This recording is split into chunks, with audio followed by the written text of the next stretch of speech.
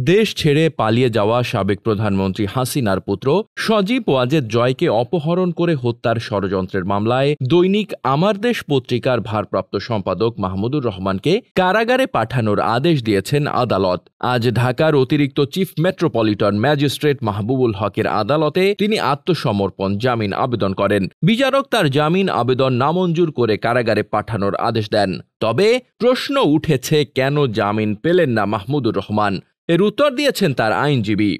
তার আইনজীবী সৈয়দ জয়নুল আবেদিন মেজবাহ বলেন, গত বছরের সতেরো আগস্ট মাহমুদুর রহমানকে সাত বছরের কারাদণ্ড দেওয়া হয়েছিল। এক ধারায় পাঁচ বছর আর এক ধারায় দুই বছরের কারাদণ্ড দেওয়া হয়। ফৌজদারি কার্যবিধি অনুযায়ী কোনো আদালত যদি এক বছরের বেশি কারাদণ্ড দেন, তাহলে তিনি এ মামলায় জামিন দিতে পারেন না।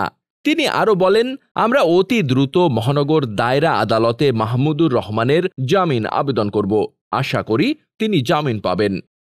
ডেস্ক রিপোর্ট, বার্তা বার্তাবাজার